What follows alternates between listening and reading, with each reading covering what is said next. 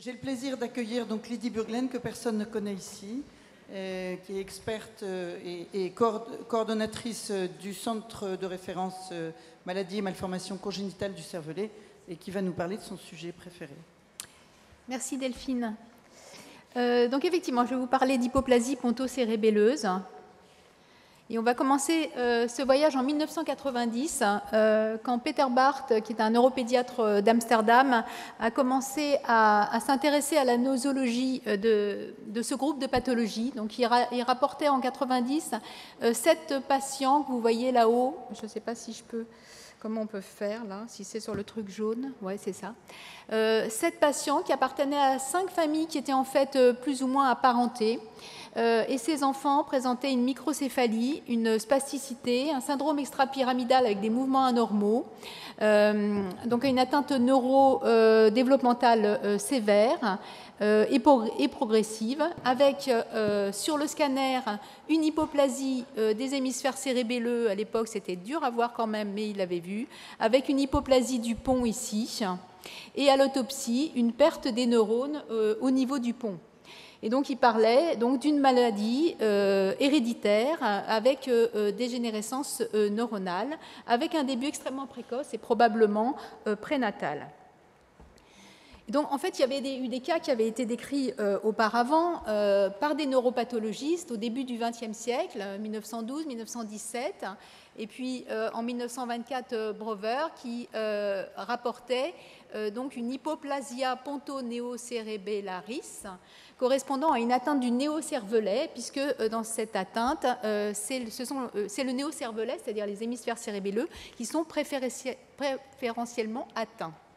Et donc Peter Barth reprend euh, la question des hypoplasies pontocérébelleuses en 93, où il distingue deux types, donc les deux premiers types de la classification. Le type 2 qui correspond à la pathologie qu'il a rapportée trois ans auparavant dans, ses familles, et puis un type 1 euh, chez des euh, patients présentant aussi une hypoplasie pontocérébelleuse, mais associée à une atteinte de la corne antérieure de la, de la moelle. Et donc c'est le début de la classification de ce groupe de pathologies qui associe une anomalie du développement du cervelet, il y a quelque chose qui se passe au cours du développement en anténatal, et une histopathologie qui est en faveur d'une mort neuronale, donc une neurodégénérescence. Alors voilà les deux, types euh, de Barthes, donc le type 1 avec atteinte de la corne antérieure, le type 2 avec des mouvements anormaux choréodystoniques, ces deux formes étant autosomiques euh, récessives, avec une atteinte euh, euh, intellectuelle et motrice sévère et un décès précoce, particulièrement pour les patients avec atteinte de la corne antérieure, et à l'imagerie cérébrale, une hypoplasie du tronc cérébral, du vermis et des hémisphères cérébelleux. Alors voici un petit patient. si j'appuie une fois, il paraît que ça lance le film. Non, ça n'a pas marché. Je veux bien le film en même temps. Donc, c'est un enfant qui est né à terme et qui a un périmètre crânien limite à la naissance et qui a ensuite une euh, microcéphalie qui s'installe. Donc, à l'âge de 2 ans, il a PC à moins 4 et il a euh, ce syndrome extrapyramidal avec des mouvements incessants, choréo, dystoniques et des dyskinésies buccofaciales qu'on voit un petit peu là. À l'imagerie, donc, il a cette atteinte avec un tronc euh, extrêmement fin, un effacement du relief de la protubérance, avec un vermis cérébelleux qui est petit mais relativement préservé, en particulier au regard des hémisphères cérébelleux qui, eux, sont très hypoplasiques. Euh, donc ici, le vermis est relativement préservé, donnant cette image en libellule. Donc, chez cet enfant, une hypoplasie du pont et du cervelet, une microcéphalie, un syndrome pyramidal. Donc on est dans le euh, cadre du type 2 euh, décrit par euh, Barthes. Sur le plan génétique, on sait depuis 2009 que cette pathologie est liée à des mutations principalement du gène TSEN54. Donc ça a été une approche à l'ancienne à l'époque, donc avec une étude de liaison dans des familles qui a permis de localiser le gène au niveau du chromosome 17 et un séquençage des 19 gènes qui étaient dans la région pour trouver des mutations donc dans cette euh, protéine TSEN54, qui est une des euh, quatre sous-unités de la tRNA splicing endonucléase. Il s'agit d'un complexe protéique qui permet l'épissage de l'unique intron des ARN de transfert.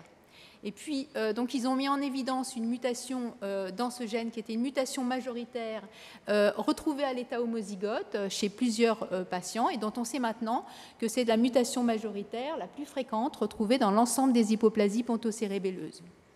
Et parallèlement, ils ont trouvé des mutations dans une ou deux familles dans les autres sous-unités, la, la, TSEN2 et la TSEN34. Voici une autre petite patiente qui est vue à 5 mois avec une grande hypotonie, une absence de mobilité spontanée, une aréflexie, des rétractions, un tableau qui fait penser à une amyotrophie spinale infantile, mais avec une atteinte euh, centrale, un mauvais contact, et euh, surtout, euh, une atteinte à l'EMG de type axonal motrice pure, et à l'imagerie cérébrale, cet aspect d'hypoplasie pontocérébelleuse des hémisphères aplati, mais un vermis qui cette fois-ci est autant touché que les hémisphères, et puis un tronc euh, trop fin avec un petit relief de la protubérance. Et donc on est dans le cadre de l'hypoplasie pontocérébelleuse de type 1 avec atteinte de la corne antérieure. Alors après ça, euh, il y a eu un certain nombre euh, d'autres hypoplasies pontocérébelleuses qui ne rentraient pas dans ce cadre, qui ont permis d'identifier, de définir de nouveaux types, 3, 4, 5 jusqu'à 6 et euh, en particulier, le type 6 correspond à une atteinte euh, euh, avec des anomalies mitochondriales en rapport avec des mutations du, gène RARS2, qui a été un des tout premiers gènes identifiés en 2007 dans le cadre des hypoplasies pontocérébelleuses. Donc en 2009, on a notre groupe de gènes responsables des HPC2. Ici, en 2012, le gène EXOS-C3 est le gène majoritaire pour les hypoplasies pontocérébelleuses de type 1. Euh, avec euh, corne antérieure. Donc là, c'était des approches classiques avec du clonage positionnel, du séquençage de tous les gènes de la région. Et puis, il y a eu une explosion à partir, comme vous le savez bien sûr, à partir des années 2010-2011 avec le séquençage haut débit, euh, en particulier séquençage haut débit d'exome et maintenant de génome, qui a permis d'identifier de plus en plus de gènes responsables d'hypoplasie pontocérébelleuse. Et à chaque fois qu'il y avait un nouveau gène identifié, on avait un nouveau type, le type 7, le 8, le 9, etc., jusqu'au au, 17e euh, gène, ici, PRDM13, identifié en 2022. Alors voici maintenant la classification de ces hypoplasies pontocérébelleuses, donc euh, dans euh, ces formes neurodégénératives, avec les 17 types. Vous voyez que toutes ces formes sont autosomiques récessives, donc ça a quand même une importance majeure pour le conseil génétique.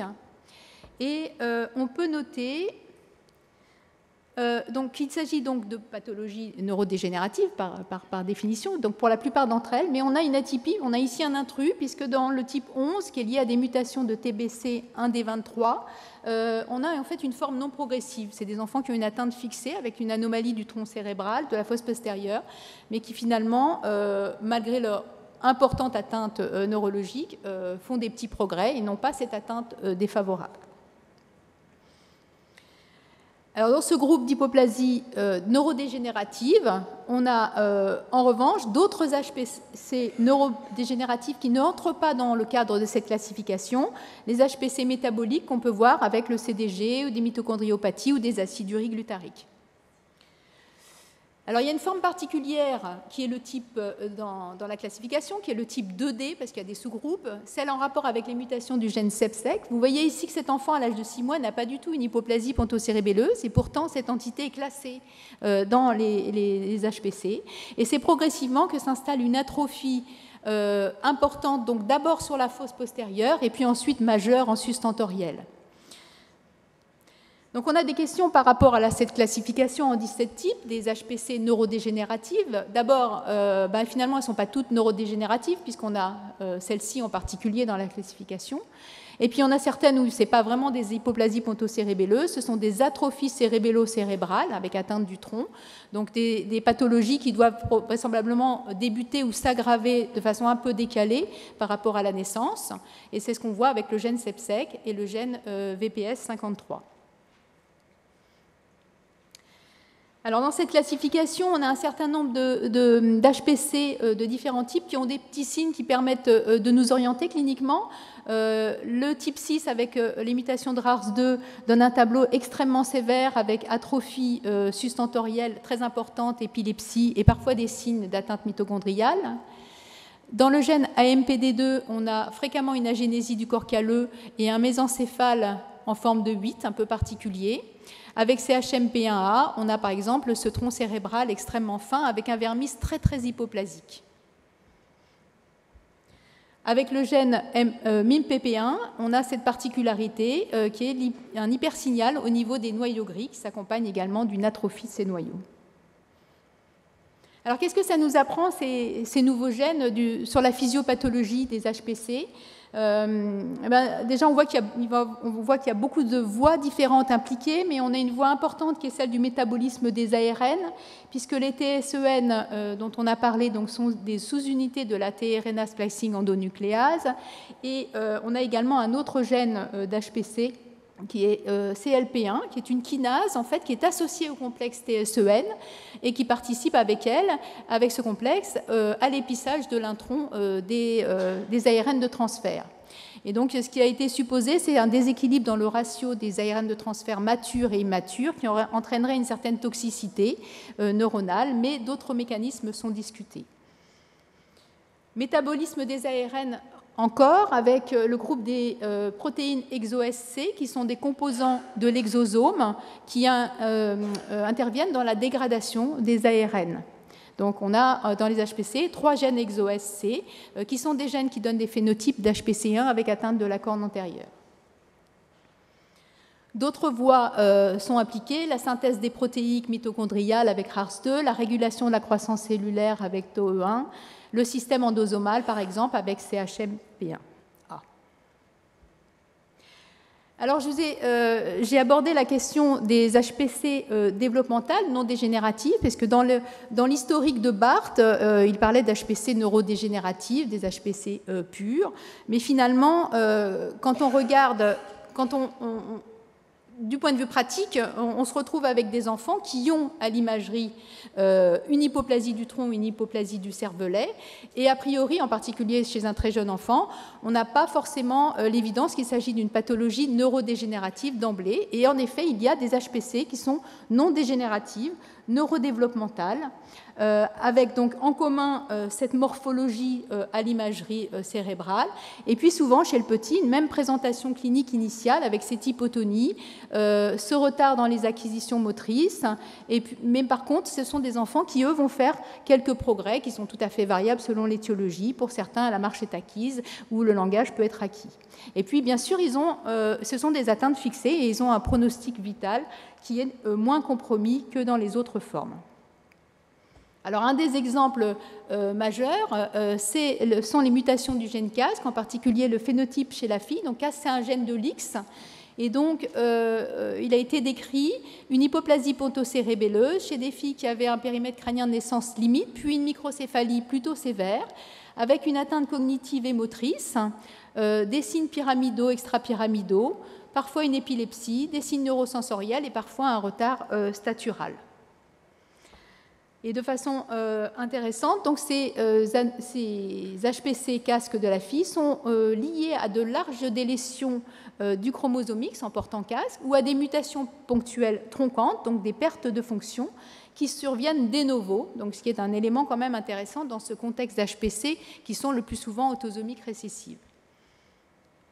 Chez le garçon, le gène casque peut également entraîner des pathologies cérébelleuses, une hypoplasie pontocérébelleuse extrêmement sévère avec les mutations tronquantes, avec un décès précoce. Vous voyez chez cet enfant, euh, la fosse postérieure est presque complètement déshabitée, avec un tronc extrêmement fin, un vermis euh, presque inapparent.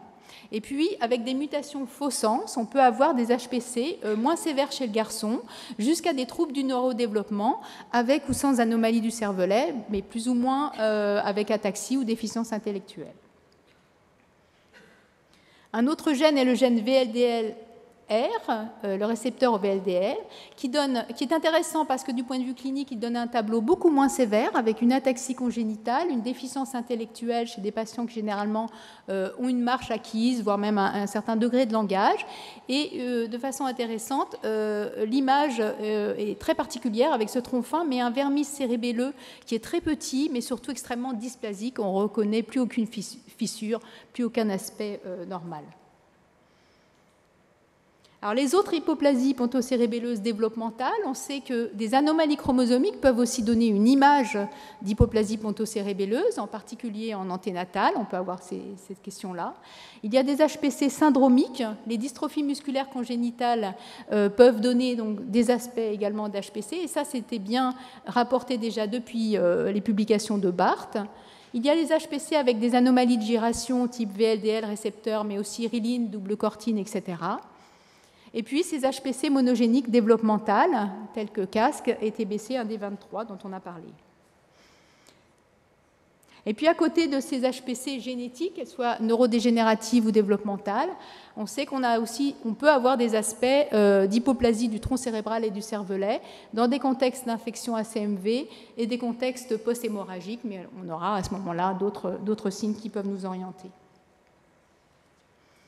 Alors, euh, au laboratoire, on a analysé environ 260 hypoplasies pontocérébelleuses, donc sur la définition juste morphologique, euh, donc tout type confondu. Euh, on a un panel avec une trentaine de gènes qui nous permet de diagnostiquer la cause de l'HPC dans 57% des cas. Donc, les deux causes les plus fréquentes sont en premier le gène casque, chez des filles principalement, mais aussi chez quelques garçons. Et puis le gène TSEN54, avec notamment la mutation majoritaire euh, A307S. On a 1,5% qui sont des anomalies chromosomiques ou des causes ischémo-hémorragiques. Et puis chez ces patients, les 34% qui sont négatifs, on a débuté des analyses d'exomes euh, qui sont en cours, qui pour le moment nous euh, font gagner 8% de diagnostics supplémentaires. Donc on arrive à 66% de diagnostics pour le moment dans ce groupe d'HPC, en sachant euh, que l'on a environ un peu plus de la moitié de pathologies neurodégénératives. Alors, qu'est-ce qu'on trouve dans les, exomes qu'on fait chez ces patients qui sont négatifs avec les gènes du panel? Alors, on a trouvé des patients qui ont des mutations euh, dans les gènes de réparation de l'ADN, dans le groupe ERCC, ERCC5, ERCC1, etc. Donc, euh, sous la forme d'un syndrome COFS associé euh, habituellement à un, retard de croissance intra-utérin.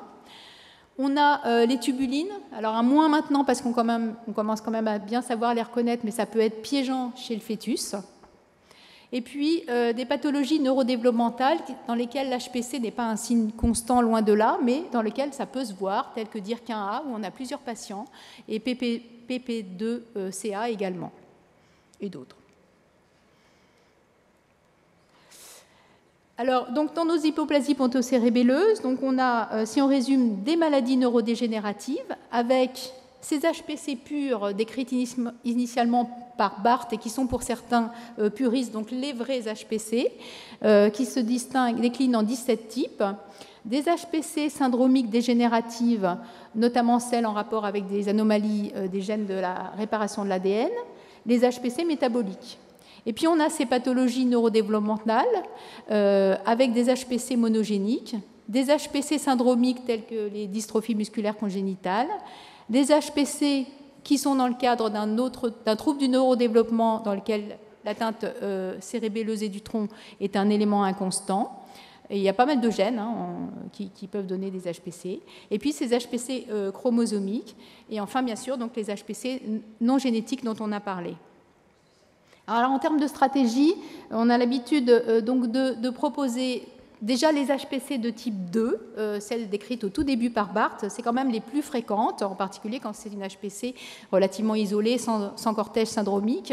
Euh, on a euh, l'aspect de, de, cervelet en libellule hein, qu'on a vu, qui est quand même assez particulier. Donc, on a des signes cliniques et neuroradiologiques qui peuvent nous faire penser qu'on est dans ce cadre-là, et également par argument de fréquence.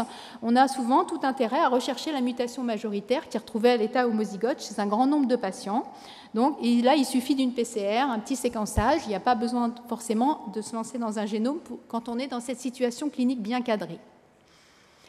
Ensuite, euh, dans les autres situations, quand c'est un peu atypique ou qu'on n'a pas cette mutation, on a l'habitude de passer les patients sur un panel de gènes, avec une trentaine de gènes d'HPC, qui nous donne donc ce euh, résultat de 57% de, diagnostic, plus ou moins ACPA, euh, parce qu'on a donc la possibilité aussi de tomber sur une anomalie chromosomique. Et puis, bien sûr, quand le panel est non conclusif, ou parfois d'emblée, la stratégie donc, passe à un séquençage au débit d'exomes, voire de génomes, de préférence en trio avec les parents.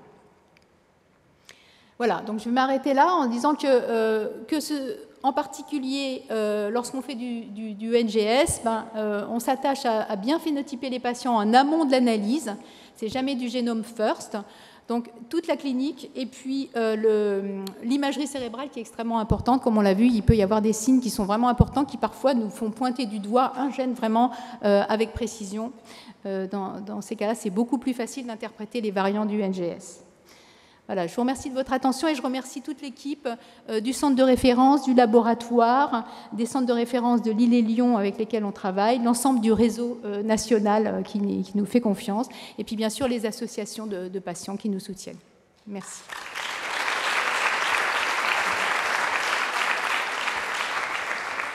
Merci Lydie.